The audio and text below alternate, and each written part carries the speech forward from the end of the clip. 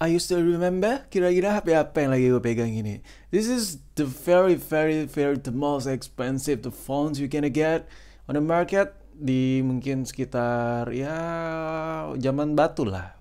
Zaman-zaman di mana iPhone tuh masih pakai home button ya kan. Nah, ini dia nih. Jadi ini adalah Sony Xperia XZ yang dulu harganya nyentuh di 8 jutaan. Enggak sih, sebenarnya di ya middle-middle dikit lah. 5 jutaan ke atas tipis-tipis beda-beda tipis. Tapi sekarang dulu yang harganya seharga motor sekarang bisa lu dapat di bawah satu juta nih HP harganya langsung mampir ke link yang ada di deskripsi karena di online shop gue gue jual. Anjas ngiklan gak tuh di awal video?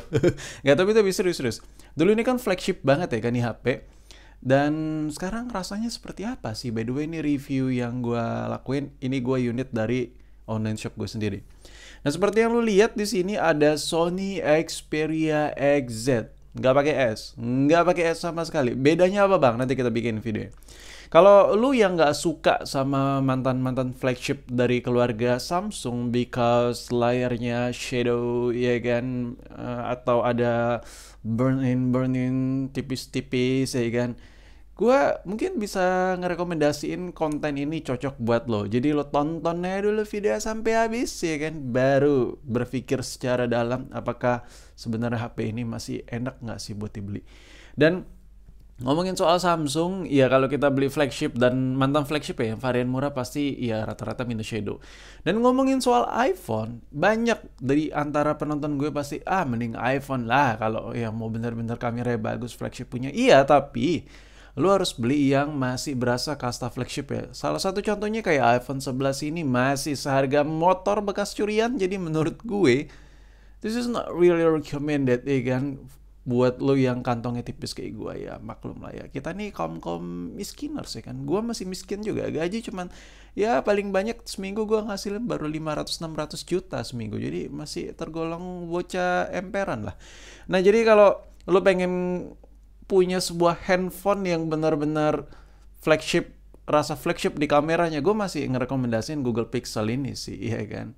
Iya kan? Ada juga di online shop gue jadi lo mampir lo berakabrik kayak langsung aja ke link yang ada di deskripsi di bawah video ini. Sumpah sumpah.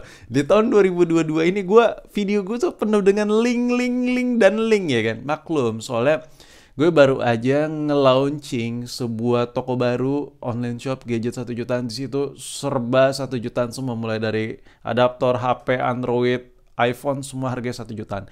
Oh ya nanti gue di next video bakal coba komparasi sama kakaknya Sony Xperia XZS varian S. Apa sih bedanya Sony Xperia XZ biasa dengan varian XZS tapi gue tahu sih lu udah pada tahu. Tapi kalau kita adu ya kan head to head yang pakai S dan yang tanpa S di tahun 2022 ini perbedaannya signifikan gak sih? Nah itu perlu tuh ya kan. Soalnya mata kita ini sudah terbiasa dengan layar OLED-OLEDan, kamera yang megapikselnya nggak ngotak, 23, 50, 60 ya kan. Bentar lagi ada Pego tuh megapikselnya. Jadi ya udahlah nanti gue bakal buat video komparasinya antara Sony Xperia XZ dengan Sony Xperia XZS. Kira-kira bedanya apa sih? Signifikan gak sih di tahun 2022? Oke, sekarang kita balik ke topik, fokus-fokus. Uh, tapi sebelumnya gue ngucapin sorry banget mungkin untuk beberapa hari atau beberapa minggu atau beberapa bulan ke depan lo bakal ngeliat video gue ada link in the deskripsinya ya kan, ada online shop gue di situ melayang. Because karena gue lagi mempromosikan tipis-tipis lah ya online shop baru gue di situ ngejual lah gadget serba sejutaan semua ya kan. Jadi ya harap maklum ya. I'm so sorry. Oke, sekarang kita fokus ke topik. Jadi Sony Xperia XZ ini nggak peduli lo mau beli di gue, mau beli di mana terserah. Kita fokus nge-review dulu nih. HP ini sebenarnya kalau dibeli tuh cocok buat lo yang udah punya HP utama yang menurut lo udah bagus ya. Tapi kalau lo nggak punya HP utama, bang, gue punyanya misal misalnya Xiaomi bla bla bla, gue pengen upgrade ke HP utama gue jadi Sony Xperia XZ yang lagi lo pegang ini, bang. Kira-kira worth it gak sih? Worth it, worth it aja, sah sah saja. Tapi lo bukan anak gamers, lu bukan anak yang benar-benar adiktif banget sama sosial media, HP ini masih overkill banget kayak ya balas-balas WA, buka-buka IG tipis-tipis, baca-baca berita atau lu buka-buka kerjaan, ada kerjaan lu tipis-tipis yang lu lakuin di HP kayak buka email langsung direct dari link atau lu buka-buka beberapa file-file PDF, mungkin HP ini masih menunjang buat perkantoran lu, buat kerjaan lu ini masih worth it banget.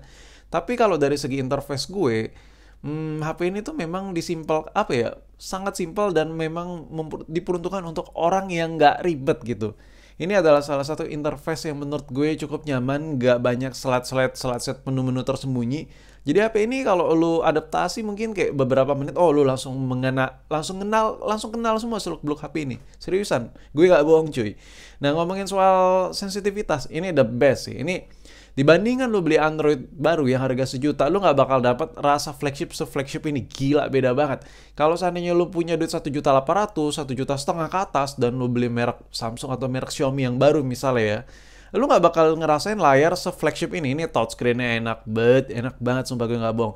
Apalagi tampilan layar ini LCD-nya brightness ini terang, cerah banget, dan nyaman banget dilihat. Dan gue nggak bohong ya. Lu bisa lihat sendiri di video gue. Tapi dicatat, lu bisa dapetin seperti ini kalau layar ori, LCD-nya masih original bawaan Sony gitu.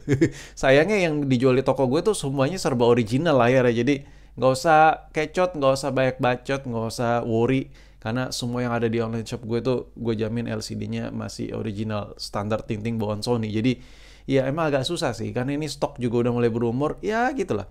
Tapi kalau lu dapetin stok yang original ya kan layar ya, ini layarnya tuh berasa flagship banget kalau dibandingkan dengan uh, let's say apa ya gue ingin baratin oh iPhone SE 2020 yang harganya hampir 5 juta. Dengan HP di bawah sejuta ini layarnya ini endes banget masih bisa di head to head komparasi. Sekarang ngomongin soal kamera. Kamera yang ada di Sony ini the best lah ya lo nggak usah ragu nggak usah raguin lagi deh Sony. Memang bukan yang terbaik ya kan? Kita ngomongin pixel gue harus ngomong jujur di sini. Tapi kalau Iya di bawah sejuta men, lu nganggarin duit satu jutaan dapat HP baru tuh dapatnya ampas, sampah gitu. Sorry kasar. Semua gak jelas buat gue ngomongnya. Tapi kalau lu beli di Sony ini di bawah sejuta lo, literally di bawah sejuta ya, bukan sejuta di bawah sejuta.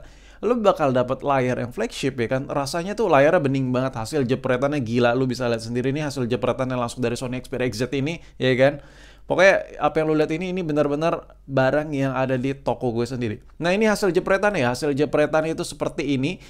Wah gila sih, ngiler ya kan? Ngiler gak sih lu ngelihat burger setebal ini ya kan? Anjir, jadi ngapain ngomongin soal makanan ya kan? Tapi ngomongin soal jepret-jepret, kamera di Sony XZ ini masih bisa diandelin menurut gue masih masih pakai banget gitu. Apalagi lu yang hobi edit-edit foto hasil jepretan, lu edit-edit lagi sedikit, lu grading lagi tipis-tipis, ini bakal nikmat banget sih hasil fotonya, sumpah. Apalagi beda sama kakaknya yang varian XZS itu mereka fokus ke video recording. Kalau buat foto-foto ini masih still the best. So, ya mungkin ini aja yang bisa gue ungkapin kalau jadi kalau di tahun 2022 lu punya budget di bawah sejuta atau lu punya uang satu juta lu pengen beli HP baru ya ya mending lu hibahin ke sini deh. Ini HP the best. Ya selebihnya ada sih minusnya tipis-tipis tapi ini budgetnya di bawah sejuta cu. Jauh lebih dari cukup jauh lebih dari sempurna sih kalau menurut gue. So ya udah mungkin sampai di sini aja review gue mengenai Sony Xperia XZ yang satu ini tanpa S ya menurut lo gimana HP ini? Ya lo tulisnya di kolom komentar tapi kalau lo pengen punya unit yang gue pegang ini gue jual kok. Linknya ada di deskripsi di bawah video ini